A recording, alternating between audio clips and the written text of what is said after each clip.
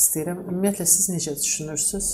Çünki artıq dünənləri MSK tərəfindən məlumat yayıldı ki, 15 nəfər oldu namizədlərin sayı və ümumiyyətlə o mənzərə sizə nə deyir? Siz mən bilirəm ki, uzun illərdir siz siyasətdəsiz və o adamların bir çoxunu çox yaxşı tanıyırsınız və onların hansınınsa İlham Əliyevlə prezidentlə rəqabətə girmək şansı varmı?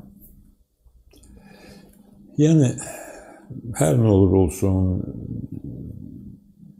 hər bir insanın azadlığı var. Hər bir insan Təbii azad şəkildə, qanuna uyğun şəkildə addım ata bilər və onların da hüququ var ki, namizədliklərini versinlər.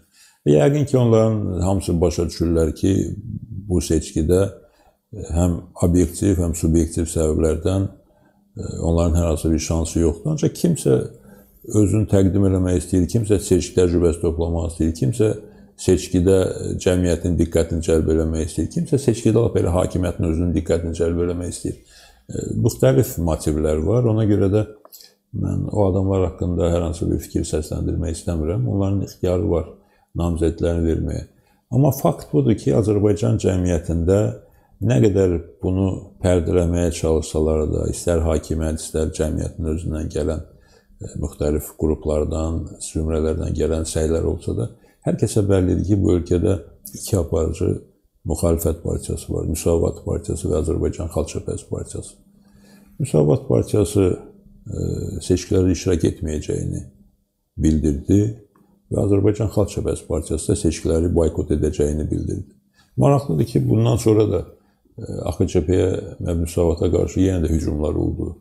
E, təkcə hakimiyyətin hücumları deyil, bu müxtəlif kəsimlərdən gələn hücumlardır. Qəribədir ki, məsəl üçün 2020-ci ildə Müsavat Partiyası e, parlament seçkində iştirak etmək haqqında qərar qəbul etmişdi, iştirak etmişdi. O vaxt bizi seçkidə iştirakə görə xəyanətli ittiham edən adamlar var ki, indi bizi iştirak etməməyə görə xəyanətli ittiham edirlər. Yəni, yəni ümumiyyətlə bu nədir? Buradan çıxan nəticə odur ki, cəmiyyətin müəyyən dairələri üçün, elə hakimiyyətin özü üçün də əsas məsələ odur ki, müxalifəti, gerçək müxalifəti tənqid eləsinlər, aşağılasınlar, böhtanlasınlar və s. və s. Nəyə görə bunun edilməyi ikinci plandadır, ikinci e, dərəcəli məsələdir. E, qalan namizədlərin isə, yəni əvvəla mən həmişə obyektivliyə çalışmışam. E, bu seçkilərdə hətta e, normal bir 3-4 aylıq kampaniya ilə, zamanında keçirməklə, hamıya bərabər imkanlar yaratmaqla da Elə asan seçki olmayacaqdı.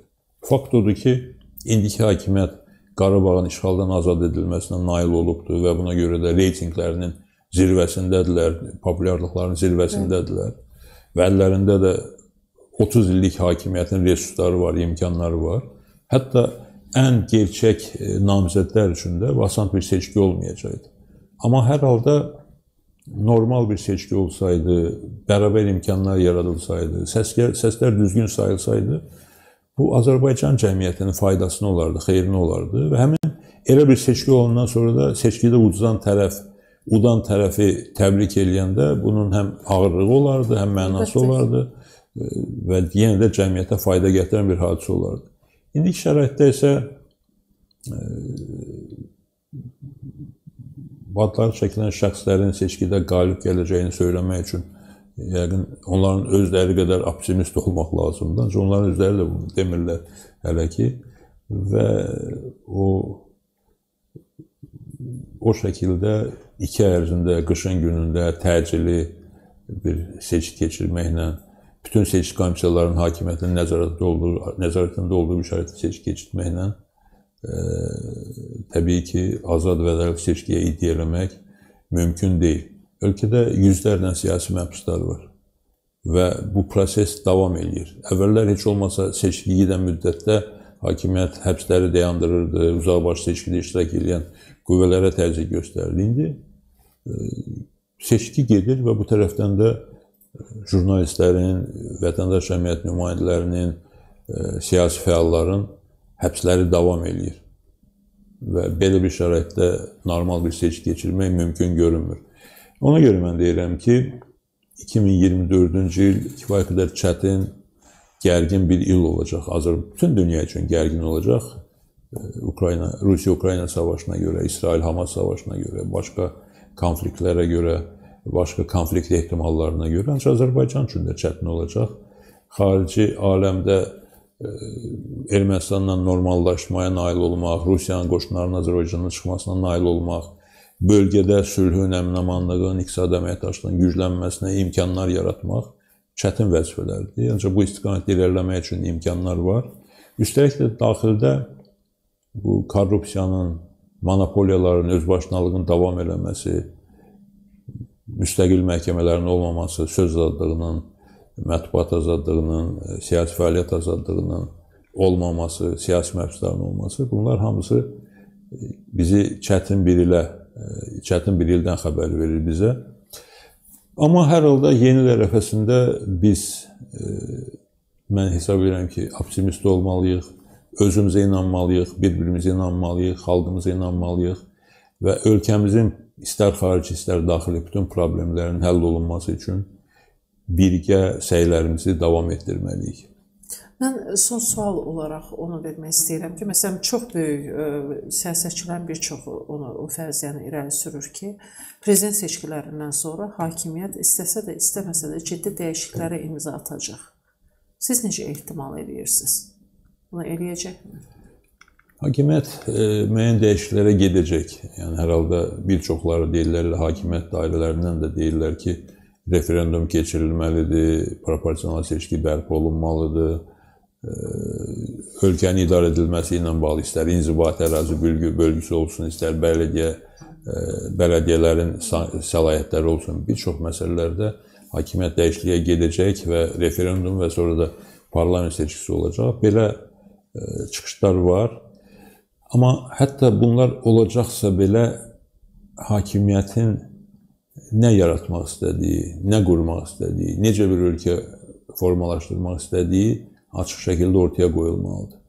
Bunun bəzi ümumi e, xəttləri deyilir, ancaq demokratiya ilə, insan haqları ilə, haqq ədalətlə e, bağlı məsələlər demək olar ki, açıq şəkildə ortaya qoyulmur. Ona görə suallar var. Yaşayıb görəcəyik və e, sözümüzü də hər zaman deməyə davam edəcəyik. İqtisadi baxımdan necə? Gözləntilərimiz olmalıdırmı? Yəni o qədər o dərəcədə sosial vəziyyət ağırlaşır ki, ilbəil. Amma çox böyük layihələr var. Yəni bu layihələr biz bilirik indi. Deyəcəm, mən də bilirəm ki, siz əsaslandıracaqsınız ki, ə, əsrin müqaviləsi bağlandı, amma Azərbaycan xalqı bundan bəhrələnmədi. Ə, necə deyə bilər, 10, 15, 20, 30, 100 bina tikintisindən başqa bizim gördüyümüz xalqa təsir edəcək bir şey görmədik. Amma yenə də növbəti il Bu layihələrdən bir çoxu artıq yeni layihə olaraq e, gündəmə gələcək. Bu Azərbaycan xalqının həyatına, vəziyyətinə müsbət təsir göstərə bilərmi? Bunu güman etmək olarmı indiki yəni, hakimiyyətinə? Bu müddətdə e, Qarabağ ərazisində yenidən o infrastrukturu bərpa eləmə, yenidən insanların dönüb yaşaması üçün şərait yaratma istiqamətində müəyyən addımlar atılıb, böyük pullar xərclənilibdir, müəyyən işlər də görülübdür və işlər də gedir elə əslində qalsa qarşımızda duran ən böyük vəzifələrdən də biri budur. Cəmaatımızın Qarabağa, o işğaldan azad olunmuş torpaqlara geri dönməsi, orada onların normal yaşamasına şərait yaradılması. Və bu istiqamət e, neft-qaz imkanları ilə, digər enerji ixracı imkanları ilə yanaşı Qarabağın yenidən qurulması, Qarabağda həyatın canlanması Azərbaycanın sosial-iqtisadi inkişafı üçün böyük imkanlar açacaq. Ancaq bu imkanlar nə şəkildə istifadə ediləcək? Mən ona görə bir qədər əvvəl dedim ki, e, hakimiyyət ümumi müəyyən istiqamətlər deyir, ancaq dəqiqləşdirmir. Yəni ölkədə korrupsiya aradan qaldırılmasa, monopoliyalar aradan qaldırılmasa, dərəbəllik aradan qaldırılmasa, müstəqil məhkəmələr formalaşmasa, cəmiyyətin inkişafı, rahat yaşaması çətin görünür. Yenə də həmişə olduğu kimi 5-10 e, manat pensiyaları, maaşları artıracaqlar. Bəli inflyasiya, inflyasiya rəqəmindən biraz aşağı şəkildə artıracaqlar, amma köklü dəyişikliklər olmayacaq. Ona görə də e, köklü dəyişikliklər üçün hakimiyyətin siyasi iradəsi olmalıdır. Hakimiyyət də bu məsələdə siyasi iradə ortaya qoyması üçün cəmiyyət bunu açıq şəkildə ortaya qoymalıdır. Mövqeyini, fikrini, istəyini açıq şəkildə ortaya qoymalıdır. Ümid eləyək. ki, yaxşı olacaq. Ümid eləmək və inanmaq lazımdır. Eyni zamanda ümid eləmək və inanmaq da kifayət deyil. Hər kəs özündən asılı olan sahədə ə, iş görməlidir. Mənim gücüm müəyyən fikirləri bölüşmək, həqiqətləri söyləməyə çatır. Sizin gücünüz buna şərait yaratmağa, öz fikirləri deməyə çatır. Eləcə də hər bir şəxs öz yerində, öz imkanı daxilində bu gerçəkləri söyləməlidir. İnsanlar haqlarını tələb etməlidirlər. Öz hüquqlarını öyrənməli və tələb etməlidirlər. Və bunlar olduqca və beynəlxalq miqyasda dəyişikliklər getdikcə ölkəmizdə də müsbət dəyişikliklər gedəcəyinə inanmaq olar. Buna çalışmalıyıq. Çox təşəkkür edirəm. Bir daha sizi də, bütün xalqımızı da qarşıdan gələn bayramlar münasibəti ilə təbrik edirəm. Yeni ilimizdə uğurlar, xoşbəxtlik arzu edirəm. Çox sağ olun. Biz də sizin təbriklərə qoşuluruq.